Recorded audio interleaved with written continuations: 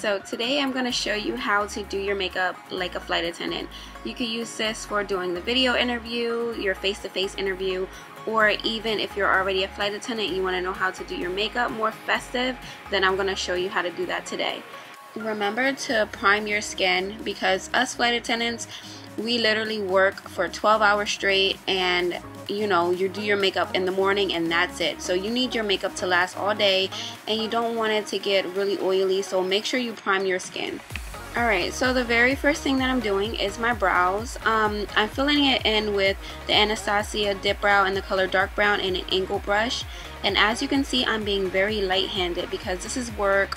You know, you're not trying to look like a drag queen. So I don't want my brows really too dark.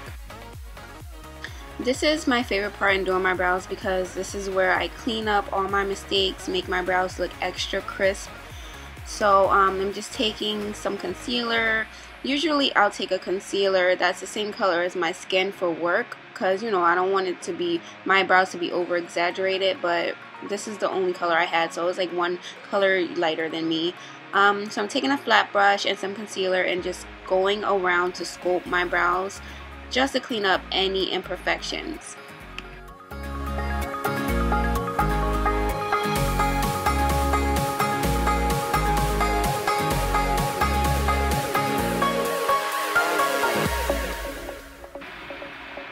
Make sure you blend all your concealer out. Um, if you don't, your makeup's not gonna look good, girl.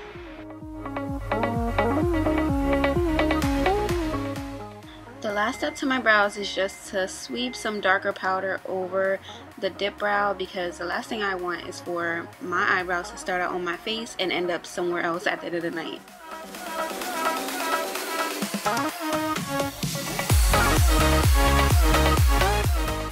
For work, you should really find a foundation that you love, but that's cheap enough for you to wear it every day.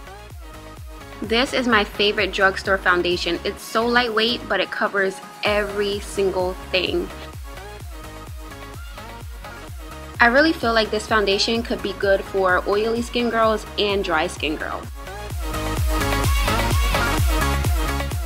Next, I'm going to conceal and highlight my under eye. I'm using the LA Girl Pro Concealer. This concealer is really thick, so you don't need a lot of it. Um, my biggest piece of advice for doing work makeup is to find a product that you really really like but that doesn't cost an arm and a leg because you're going to be using this every day um, and it's going to run out you know so you're going to be purchasing it more now I'm just going to use a darker color in the LA Girl Pro Concealer and contour my face. Now these are the products that I really use for work. I actually pack them in my suitcase every time I get caught out for a trip and I do the same routine every single time. It's like a routine for me now. Now I do beat my face for work but I don't go overboard. As you can see I'm not squeezing any new product out of the bottle. I'm actually just using the product that's already on the little applicator. I'm doing this because I want my makeup to be a little bit subtle.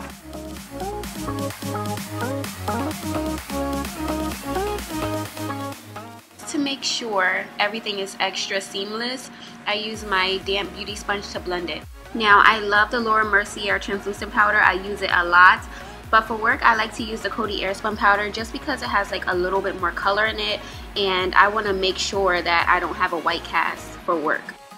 And this beauty sponge is damp with water.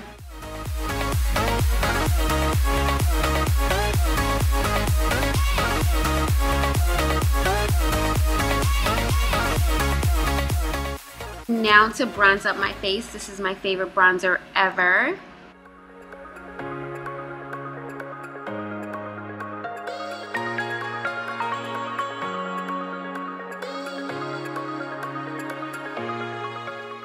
So besides the red lip, a rosy cheek is like a must for a flight attendant. A good blush to use is Raizin by MAC. This is what I'm using right now. Um, it's kind of like red and like burnt, kind of like a burnt red.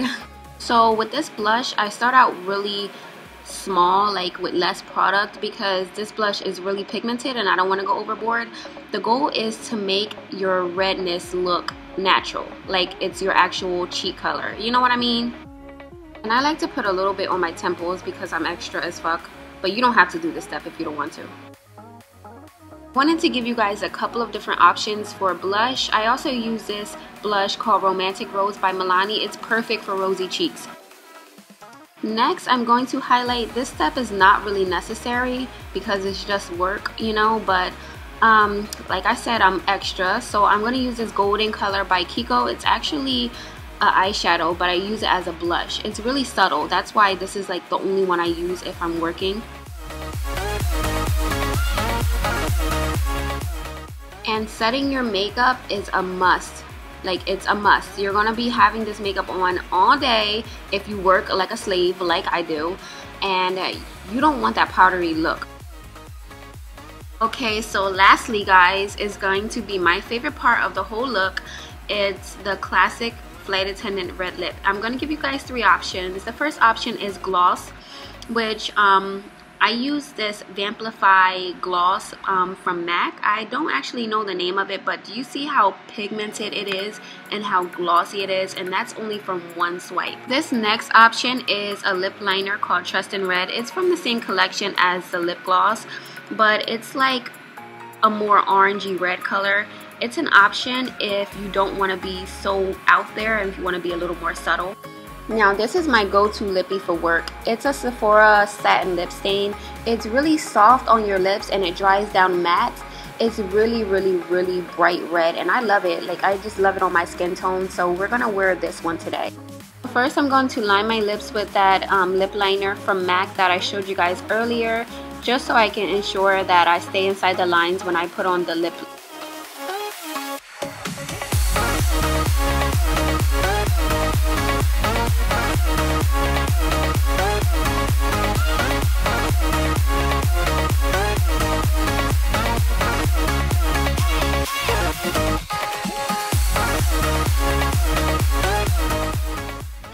So guys, I realized I missed a step. I'm kind of bald right here up in my eye area. I forgot to put on lashes and eyeliner.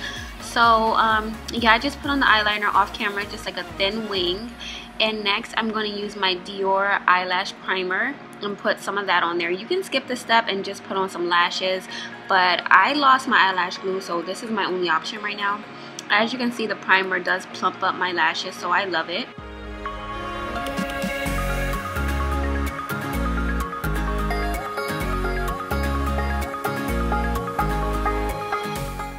See how this primer just separates my lashes and makes them look extra long? You can use your favorite mascara. I'm going to use this Hourglass mascara from Sephora. It's a travel size, so it really does come in handy for when I work. I can just toss this in my bag and it literally takes up no space.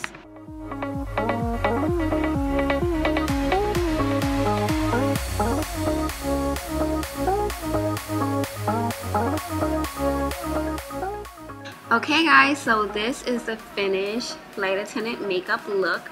This is the look I wear every single day for work. Um, it's become a routine to me now, so it's really easy. I feel like I can do this with my eyes closed. Remember, the three major keys to flight attendant makeup are fluttery lashes, rosy cheeks, and bright red or pink lips. Lipstick is a must. Do not, do not skip on that part.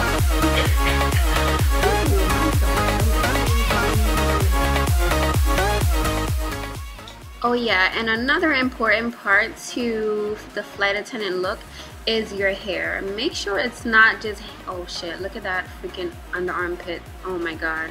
Guys, I got some new lights and they're hot as hell, you know? Like, that's why my underarm is sweating like that. My underarm does not sweat normally, but hey, whatever. I'm not gonna do the video over. Figure I show you guys my whole look. This is my uniform, my actual flight attendant uniform and yeah so I'm wearing a skirt some tights a long sleeve button up blue shirt my scarf and a really lightweight sweater. Yeah cover those pit stains girl. I hope this helps some of you aspiring flight attendants. Thank you for watching. Bye. Mwah.